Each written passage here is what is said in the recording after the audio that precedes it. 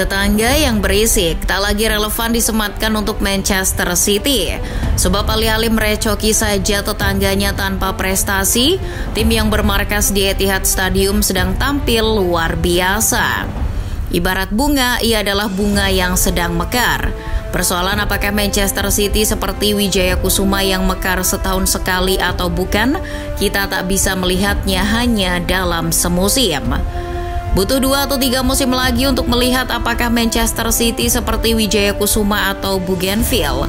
Untuk sekarang, Manchester City adalah tim yang sangat kuat. Kalau kata Erling Haaland, City hari ini berada dalam sorotan. The Citizen sedang menulis sejarahnya. Saat ini menjadi fans Manchester City adalah sebuah keniscayaan. Ini waktu yang sangat tepat untuk menjadi penggemar Manchester City. Bagi yang baru kenal bola dan masih belum menemui jalan spiritualnya untuk memilih mana tim favorit, City adalah pilihan terbaik. Bagi yang sudah punya tim idola atau malah menggemari si tetangga, ini adalah waktu yang pas untuk berpaling. Setidaknya sampai tim yang kalian gemari itu insyaf. Well, mengapa ini adalah waktu yang tepat untuk menjadi fans Manchester City? Sebagaimana tim-tim raksasa lainnya, Manchester City menumbuhkan basis penggemar yang luar biasa. Meskipun Chief Marketing City Football Group, Nuria Tari, mengakui hanya satu persen penggemar Manchester City yang berada di Inggris. Selebihnya, The Citizens menjangkau penggemar yang lebih luas di seluruh dunia, terutama melalui media sosial. Wajar apabila Manchester City menurut Football menduduki posisi keempat tim Premier League dengan jumlah pengikut terbanyak di dunia dengan 132,9 juta pengikut di seluruh media sosial. Angka ini memang kalah jauh dari Manchester United yang mempunyai pengikut 209,4 dan menjadi yang terbanyak. Akan tetapi, kita bisa melihat bahwa penggemar Manchester City telah meluas. Di Indonesia, penggemar Manchester City awalnya malu-malu menunjukkan batang hidungnya. Tetapi seiring berjalannya waktu, mereka benar-benar mulai yakin untuk tampil di muka publik.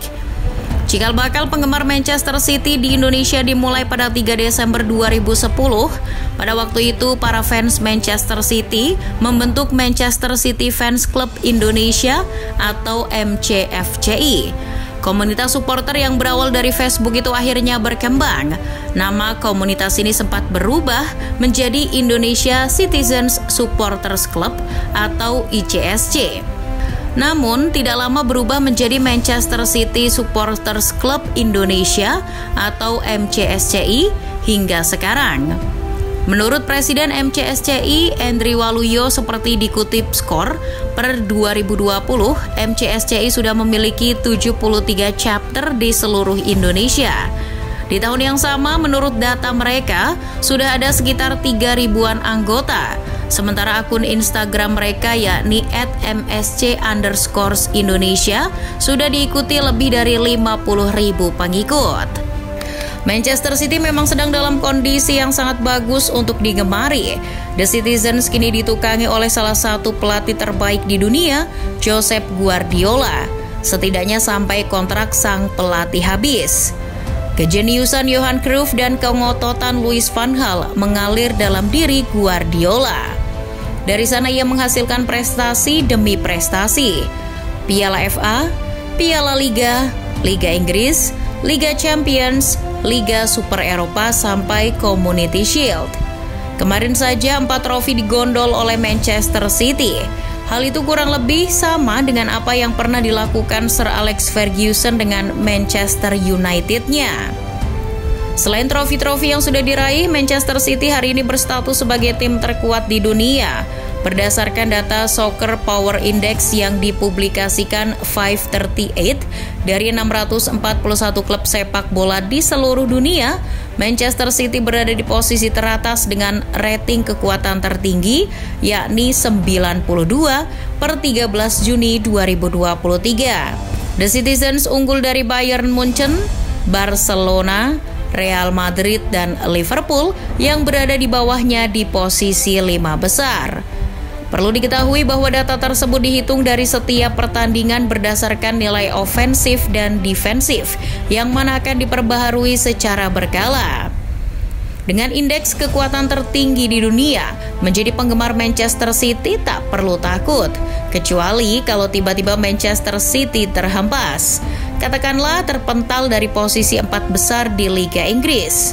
Tapi itu kayaknya sih mustahil ya. Menariknya lagi, seiring prestasinya yang kian bagus, Manchester City telah meningkatkan penjenamaan atau citranya sendiri. Alhasil per Juni 2023 lalu, menurut brand Financial Football 50, seperti dikutip NSS Sport, merek Manchester City menjadi yang paling bernilai.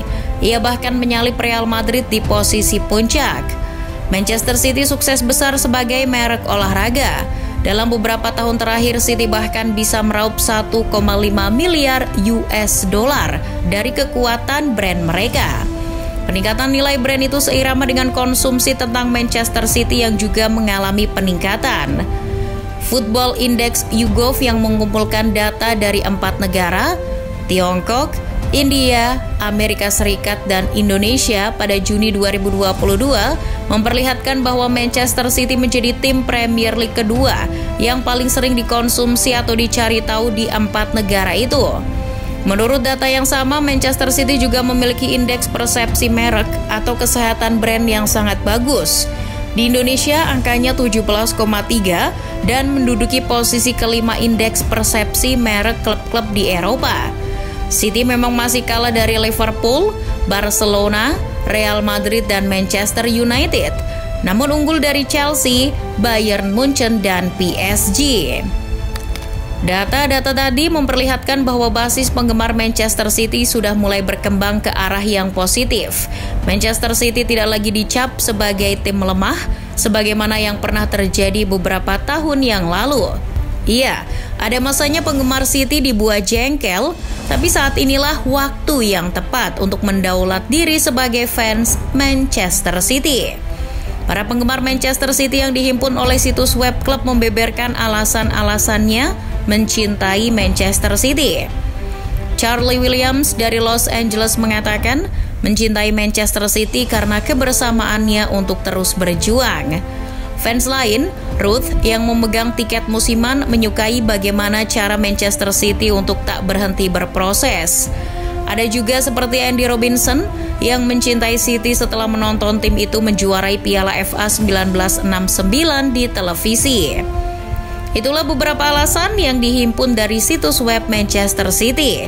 Kalian yang akan menjadi fans Manchester City bisa saja memiliki alasan tersendiri atau bisa jadi mencintai Manchester City tanpa perlu alasan.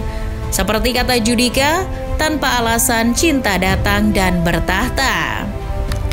Pada 30 Agustus 2023 lalu, Manchester City meluncurkan program rencana keterlibatan penggemar klub.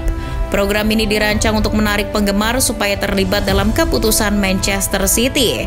Akan dibentuk forum terstruktur yang isinya adalah penggemar, yang itu akan menjadi semacam dewan penasehat. Nanti ide dan umpan balik yang berkaitan dengan topik yang relevan dengan Manchester City akan didiskusikan bersama. Menarik bukan? Siapa tahu akan ada perwakilan dari penggemar Manchester City di Indonesia yang akan masuk ke sana. Jadi, siapkah kalian untuk menjadi penggemar Manchester City?